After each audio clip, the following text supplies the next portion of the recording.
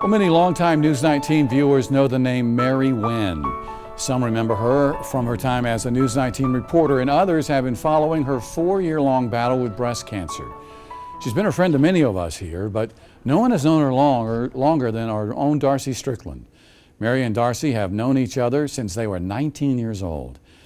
Today, Mary is in the fight of her life after a Duke trial didn't work out as well as she would hope.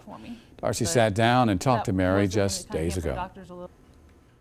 The latest news isn't great. Um, we had gotten to the point where I was admitted to the Duke Cancer Institute um, for this groundbreaking trial. Um, they were in the late stages, and this trial was very specific. Uh, 60 people in the world, 15 at Duke, that even qualified, and I was one of the 15. We started that process last September. It was, I think, December, early January, that I got the news that I qualified. Um, as a matter of fact, they said I was a, an ideal candidate. uh, instead of helping, this combo actually hurt me. It happens sometimes.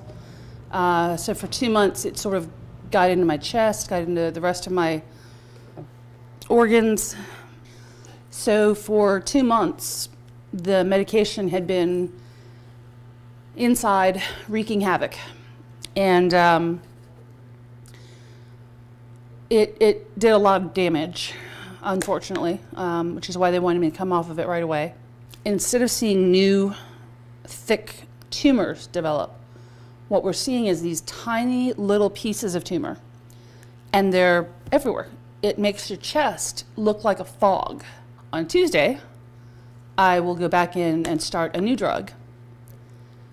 It will not put me in remission, will not cure me, but we are hoping that it will slow the growth of the cancer to the point where we can find something else that might work. I've known for a while that I'm terminal. I haven't really told anybody. I put a lot of stock into this uh, Duke trial. It really got my hopes up, and I shouldn't have, you know, put so much into it. Um, so it was hard when we found out that it hadn't worked.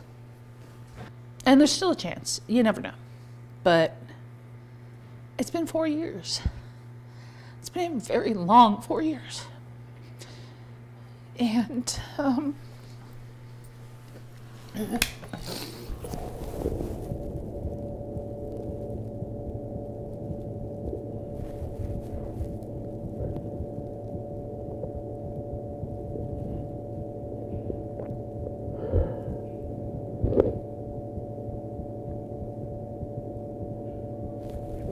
I love you right.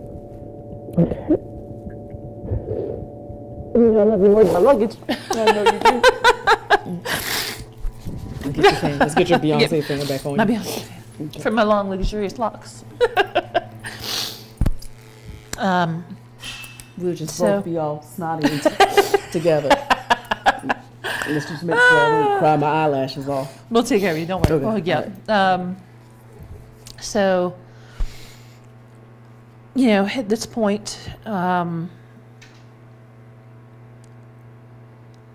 I've tried not to ask the question of how long because I don't necessarily want to know.